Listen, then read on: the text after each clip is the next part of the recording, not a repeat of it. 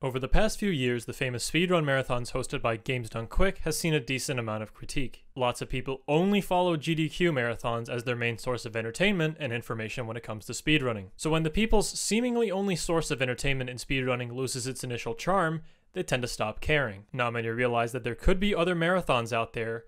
There's lots of individual speedrun communities making content for their speed games, and lots of individual Twitch streamers are doing attempts and creative stuff daily.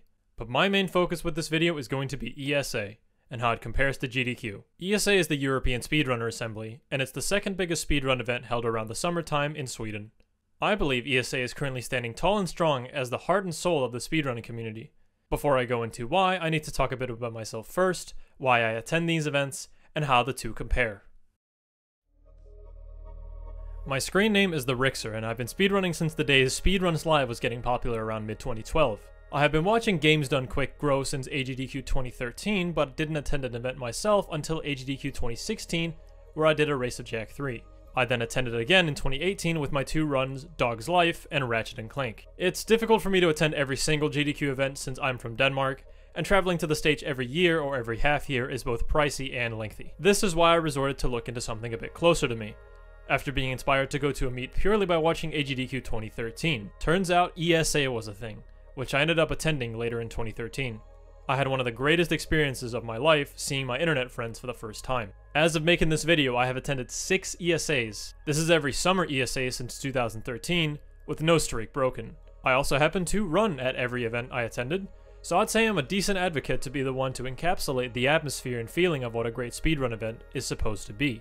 My reasoning for going into my personal story with ESA and GDQ so much is I see a lot of people give their take on what the state of speedrunning, GDQ, or ESA is, without ever having attended a speedrun event at all. Everyone throwing punches like this have not experienced all the fun that goes on behind the stage at these events. Speedrun marathons are so much more than just the stream. And yes, I get that the main point with these marathons are the stream and the charity. But I can be certain with you that my favorite moments at speedrun events are never being in the crowd for someone's run. As hype as it may be, it's never the highlight or the defining moment that makes you say, oh, that's why I go to these events.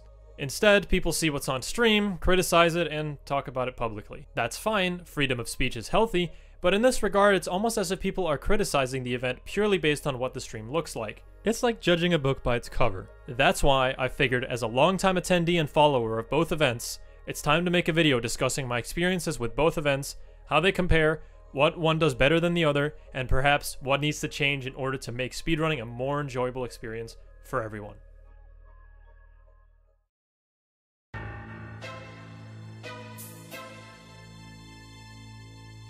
Professionalism is perhaps the biggest critique GDQ is getting from the media these days. What I mean is that earlier iterations of GDQ has a much more genuine and natural approach to the stage performance, room atmosphere, and language. Everyone was allowed to express and be themselves in a less corporate environment. As the years have gone on, runs are starting to feel less and less distinct from one another due to having to follow a strict guideline in which extensive swearing isn't allowed, certain jokes are prohibited, and overall just having to act a certain way. Not to mention the behavior and performance during your run will affect your future chance of getting into GDQ. You can read this yourself on the GDQ's rule page or when submitting a run for the marathon.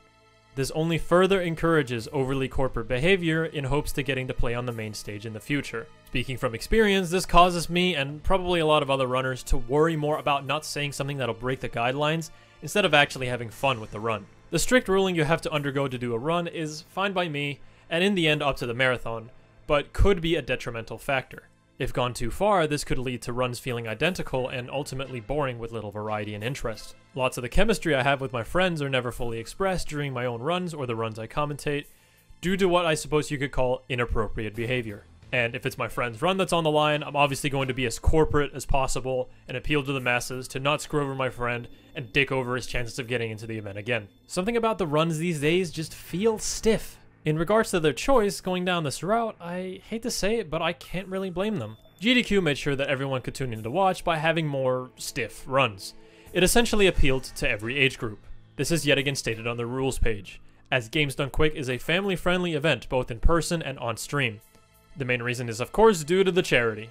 The more viewers the marathon gets, the more donations you generate for the charity. And while ultimately this is all with good intent, I feel like pulling the charity card is not an excuse to try and make your event better, and prioritize quality over quantity.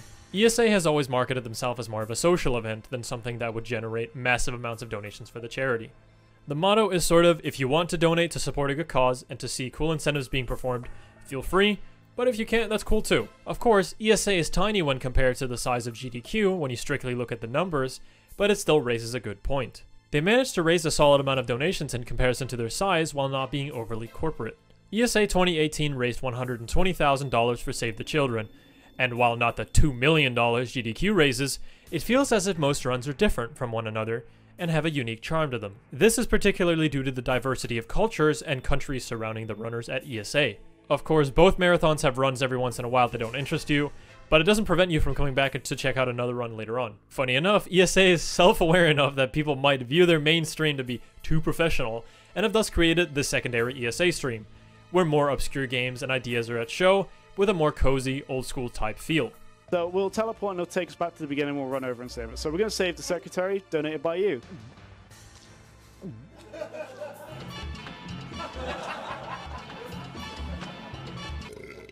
I'm not sure if GDQ has ever thought about the idea of having two streams, but it could be an idea to generate more viewers and donations. It could certainly be a gamble, but I can tell it works quite well for ESA, which is why they've stuck with it.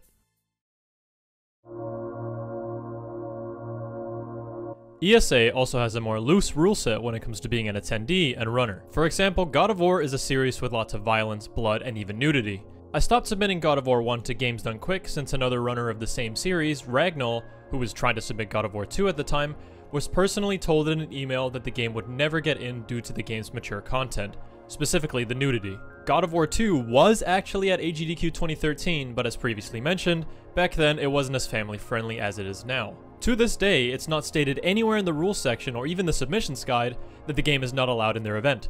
So if Ragnall had never emailed GDQ about this, we would have been practicing our asses off the whole time for a GDQ submission, and it would have gone to complete waste because the rules for mature games are so vague. Turns out the slight nudity in a game about Greek mythology is apparently the issue. Yeah, really. Actually, update, the AGDQ 2019 games list just got released today as of recording this voiceover, and God of War 2 actually made it into the event. Ragnall managed to find out that the Japanese version of God of War 2 censors out parts of the game that GDQ would otherwise reject it for. Maybe a bit silly to go down the route where we have to find alternate versions of our games to get them accepted, but in any case, big congrats to Rag. I'll definitely be on the couch. This doesn't mean that there aren't also other inconsistencies that occur at GDQ. Grand Theft Auto Vice City got into GDQ not too long ago, and so did Resident Evil 7, a game much more filled with gore than God of War. It would be nice to get an official list, or at least a statement on what the minimal requirements are to mature games. Now this is where I ask you, the individual, watching, what is worse? The main character of Resident Evil 7 getting a knife stuck in his throat, his hand cut off, and shooting a girl in the face, or a scene where Kratos is sitting on the side of a bed, and there's some boobies. I found this statement by Cool Matty, the organizer of AGDQ 2018, on his Reddit AMA. As much as possible, we separate the game from the event in representation. Runners, commentators, staff, and volunteers are seen as representing the charity. The game is not. Also, there's another reason IMO. I don't want GDQ to turn into a swearing fest. Some runners can pull it off with heavy swearing as their shtick, but when you hear it run for a week straight, it's not funny anymore. It's obnoxious and distracting to the event, IMO. Now, here's my issue with this statement. You accept games like Resident Evil 7, you claim that the games do not represent the charity, why in the world would you ban specific games from the marathon in the first place then? Saying that games do not represent the marathon or the charity is just trying to dodge a bullet. As for swearing, characters in the game and runners swearing honestly should be treated equal, I don't see why it isn't. There's just a lot of missing consistency over what is allowed and what isn't, and a lot of trying to dodge responsibility, which I don't like. At ESA, however, I was told a clear message. The staff told me as long as the game was within Twitch's term of service, I was allowed to play it just fine, be myself, and joke around. And I did. And guess what? Not a single comment complained or even mentioned the gore, nudity, or swearing. Could it be that people don't actually care about the gore or nudity? No, that can't be it. Did people complain about the gore and Carcinogen's Resi 7 run? No. In fact, just by reading the comments, it did well. My run also happened to do surprisingly well. The views are good for ESA standards, and the like to dislike ratio isn't too bad, so the majority of people clearly enjoyed it. This is only one of many instances where I can see Games Done Quick prevented self-growth from being too corporate. And I'm not saying, please accept my run to get more growth. It's just, think of all the thousands of runs that are submitted every event that get rejected for the game not meeting a hidden mature content rule, even though it could have benefited the marathon. Think of how big Grand Theft Auto is. Think of how big Dark Souls is.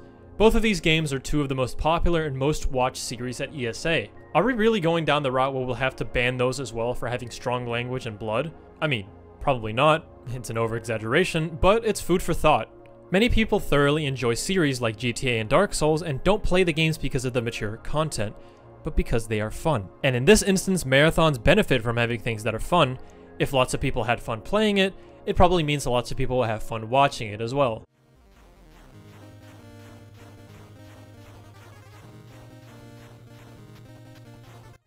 Must be fucking oh, kidding me!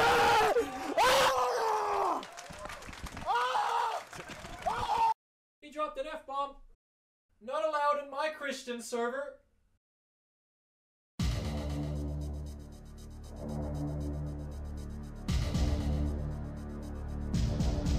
The game plan at GDQ is pretty clear cut when it comes to the game selection. They tend to pick games that sold well in America, games lots of people are nostalgic about, combined with leaning towards picking the most popular runners.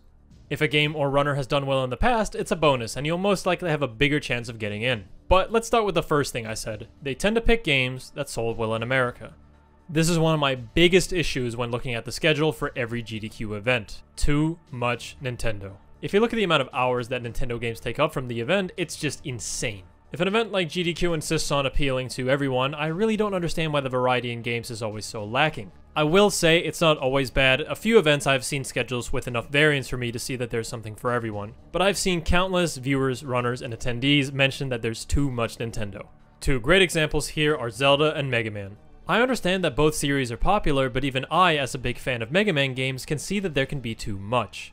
The schedule for the upcoming three day event GDQX has been released, and it has four Mega Man games. Four in a three day event. If you look at the previous SGDQ 2018, there were seven Zelda games in the schedule. These runs weren't short either, in fact, they took up a large portion of the marathon.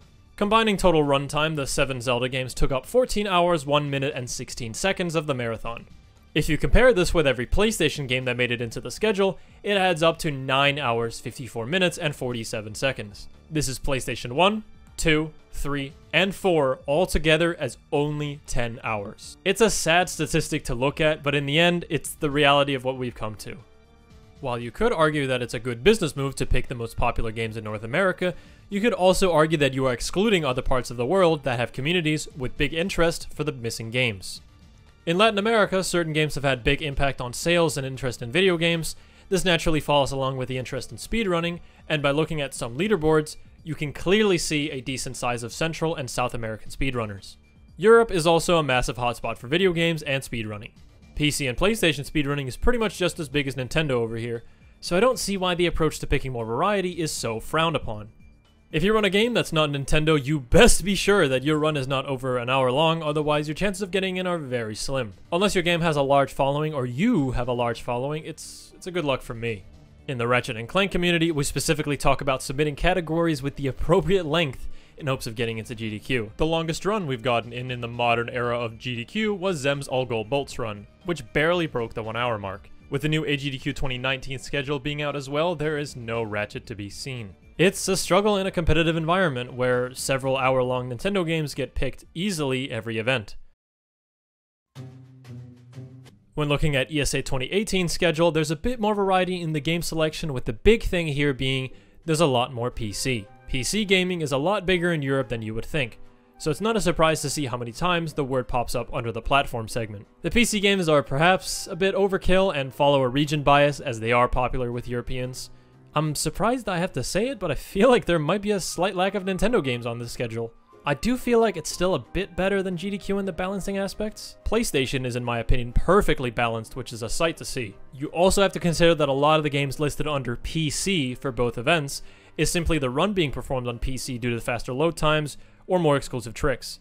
Some games were initially popular with a console release but then was ported to PC, which runners took advantage of. To better the viewing experience, I think it's up to us runners and communities to pitch more ambitious submissions so the organizers can see that more variety is warranted. But what's more important is for organizers of these events to be more open to accepting more variety and understanding that there needs to be something for everyone, not just their own region. As for picking the most popular runners, I think it's mostly fair with a few exceptions. If a popular runner submits to an event with a popular game, it's a good business move to take them over someone else. But if said popular runner has a worse time in a game than a less popular runner, the less popular but better runner always gets picked, both for GDQ and ESA. I'm happy this is something both events hold true to because in the end it's about whoever is the best at the game who can show off more impressive tricks and strategies in the speedrun. Besides, there's no stopping the popular runner from being on commentary for the run anyway, so it's essentially a win-win situation. The only time the popular runners could be hurting their community or speed game is if they aren't aware of their impact when submitting to a marathon.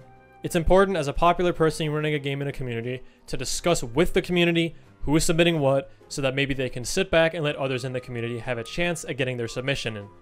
But I think the overall choice of runners picked is something I'd give both events pretty strong props for.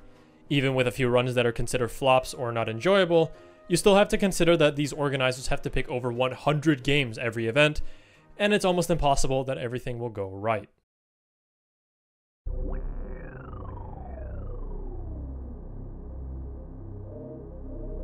There's a few things I want to cover when you, the viewer, are viewing the marathon. Interaction, entertainment, production quality. Let's start with ESA first on the interaction aspect. Both events really only have two ways of interacting with the marathon in any way, and it's by one, donating to the event, and two, Twitch chat. Since the size of ESA is so small in comparison to GDQ, every donation comment gets read out, you know, if it's not considerably inappropriate. This might change in the future as ESA gets more popular, but as of right now, they don't get enough donations to where it floods the stream and ruins the experience. Even if they did get a lot more donations, they would probably switch to what GDQ is doing, which is picking the donations that are either the largest amount or the most appropriate to read out. This is kind of what GDQ has to do due to their size, although honestly, we need to stop donating with anything in the GDQ donation generator to increase our odds of getting our comment read out. Yeah, it's it's a thing. You should check it out. No, seriously, what the fuck is this? As for Twitch chat, this is a touchy area I was hoping not to go into, but I have to sort of talk about it.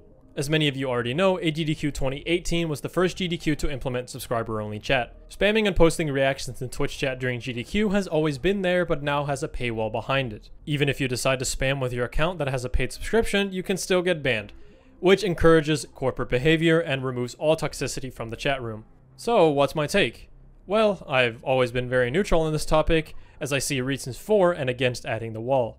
When I finished my Ratchet & Clank run at AGDQ 2018, I was asked about this a few times on my AMA. The reason why I should be for it is largely due to the fact that I don't want my friends rewatching the run with Twitch chat to get hurt. Yes, surprise surprise, many speedrunners don't have super thick skin when it comes to taking insults, and I don't want people to think less of themselves just because of Twitch chat. I would have personally been fine with or without sub-only chat during my runs, I would say I'm capable of taking the shitstorm from Twitch chat any day, but I worry not only for myself, but for anyone more fragile. And if this is part of GDQ's reasoning why, I totally understand it. The reasons why I should be against it is because I can clearly see that a lot of people find it amusing. I've never personally interacted much in Twitch chat, but I'm not blind. I can see the appeal. I understand why people want an outlet to say funny remarks. Besides, there have been some pretty good connections between GDQ and Twitch chat in the past, such as the GDQ monitor back in the day and the TAS blocks where Twitch chat was brought up on screen. So for some, it can be part of the event's spirit going away because of this paywall. Due to more corporate reasons, they decided to go sub-only mode. I respect the decision, and like I said, I'm pretty neutral on it. I don't see it as a good or a bad thing, and when looking at it from a business perspective, it has not affected the donation total in the slightest. ESA, however, is still small and controllable enough to have an open Twitch chat for people to chat in. ESA staff are aware that it's an important part of the experience and even gave Twitch chat a shout out during the closing speeches. I would like to thank everyone that helped us with chat. Of course, you've been good chat. Of course, there's moderation involved, but it's still to the point where you can have fun. As long as you're not hurting anyone's feelings at the end of the day, who really cares, right? With entertainment, I'm talking about the quality of runs, interviews, and intermissions. This ultimately comes down to a trade-off. For GDQ's sake, the only thing I can think of that hinders the experience for me personally is the corporateness, which I've already touched upon. Whether it be overly stock donation comments or the dry commentary from the runners, I can usually still be entertained by a run, but it's just not as fun as it used to be years back. The amount of games I want to watch are also going down significantly due to the oversaturation of Nintendo games that I've been talking about as well. The break screens where they show off prizes and talk about upcoming runs are honestly unwatchable for me. It feels heavily scripted and disingenuous to watch. This might be because I know a few of the people on the team to do the intermission section, and they do not act this way at all in person. I get that it's not the main selling point, and it's better than having nothing between games, but this could use some serious work in the future. For ESA, the problem to solve is not as easy. At its core, it's unfortunately the language barrier. ESA has runners from all around the globe, although mostly Europe, so it's clear that you'll have runners who don't have as fluent English. This can hinder the experience, but can also enhance it in the sense that one runner might be drastically different culturally than the next runner. So seeing that juxtaposition can be a fascination some are looking for. ESA has been getting better with this over the years since more Americans are getting more interested in the event. ESA's intermission screens are also a bit lacking. It's kind of like GDQ, except it's a bit more natural with two people talking to each other about, you know, whatever comes up.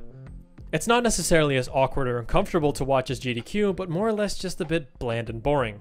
Being there on site, I can tell most intermission people don't have a clue about most of the runs on the schedule. Some have little to no background on speedrunning, and also not exactly everyone is fit for the role of filling the void until the next run. I do think this format has good potential in the future, but also maybe new ideas and innovations are at hand. Take Beyond the Summit for an example. It's an event where pro esports players are invited to a house, host a big tournament with a big prize pool. During the downtime, they have small skits that play with high production value. Since I watch the Smash Summit very closely every time, I can say these skits work out super great and is one of the highlights of the event for me. I think this wouldn't be such a bad idea to incorporate for any marathon, given a small video editing crew. It's funny looking back at SGDQ 2012 and AGDQ 2013 you see a massive improvement in quality and layout. I remember thinking that the AGDQ 2013 layout was the hottest shit on the planet. Looking back, it doesn't hold up that well, and it's actually crazy how much better both events look now. But there's still some things to be desired. I want to start out by talking about the game quality. ESA 2018 has been using some excellent technology in regards to how the game looks on screen. Utilizing RGB with the help of the OSSC's upscaling capabilities, and you have a very crisp look on your retro consoles with vibrant colors and sharp pixels. Despite clearly being on a smaller budget with less sponsors than GDQ, ESA's picture quality in comparison is far better than GDQ on both standard def, high def consoles, and PC. If GDQ wants to improve their picture quality, they might need to take a look at how it's done in Sweden. Here's a comparison between SGDQ 2018 and ESA 2018's picture quality.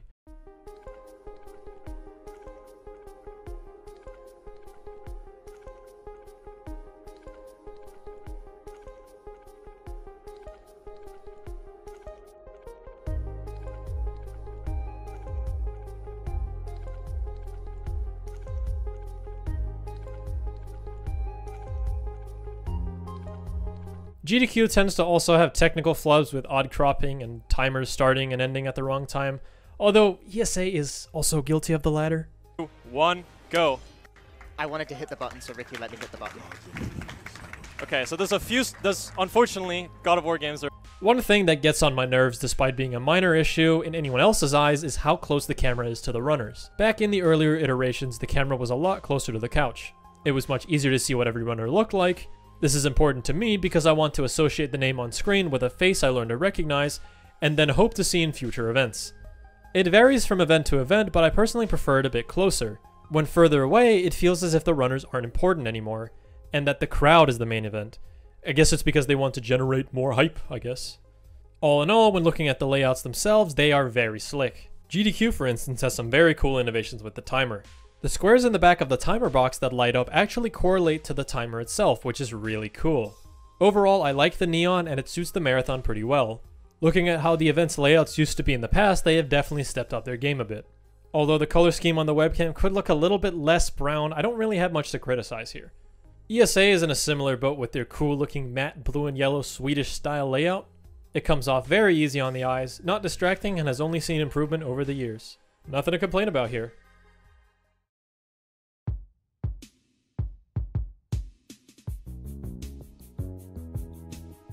Oh man, where do I start with this one? Everything that happens outside of the stream room is just one hell of an experience. Just being anywhere where you can see your online friends who you might have never seen before is just incredible. The reason I go to these events is for this reason alone, to see my friends. Going into ESA 2013, I came in only knowing a few of my friends.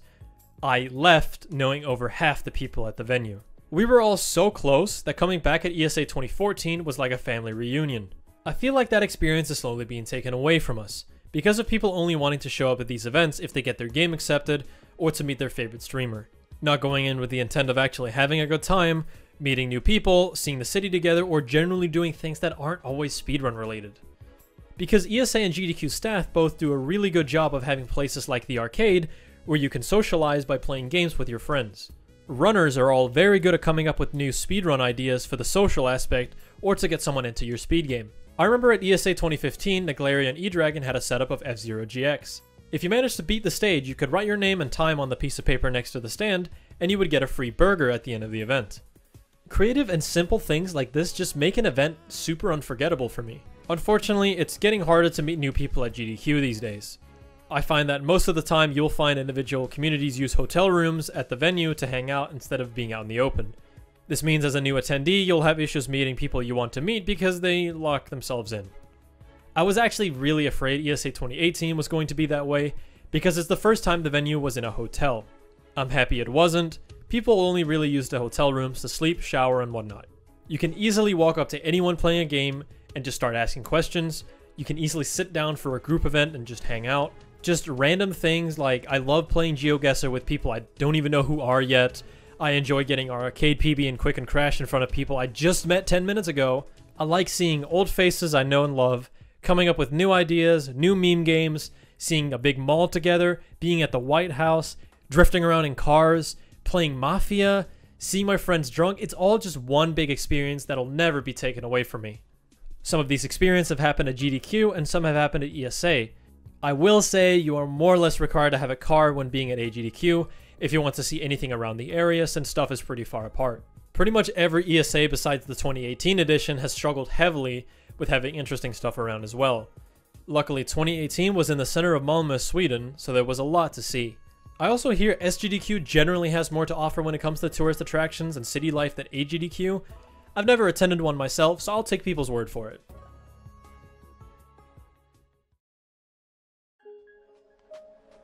When people criticize the downfall of speedrunning with the events we currently have, never forget the grassroots. People have been going to these events for years, people have built so many friendships, and that's why they keep coming back.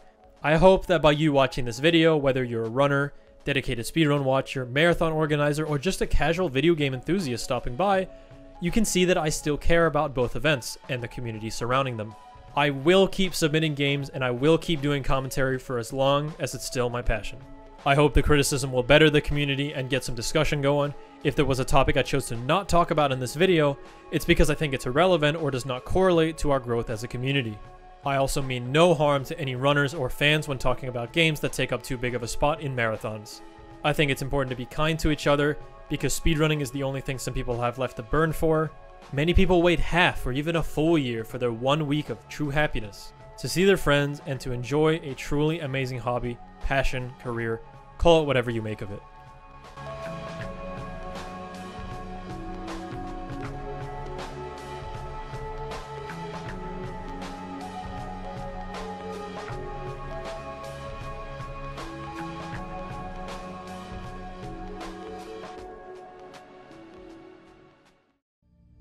I hope after watching this video you will give ESA a shot. I've clearly been giving the marathon a lot of props for being innovative pretty to look at, and entertaining. I certainly think ESA is the best speedrun marathon out there right now. It may be a biased answer to the title of the video, but nothing encapsulates everything that I've been talking about as well as the European Speedrunner Assembly.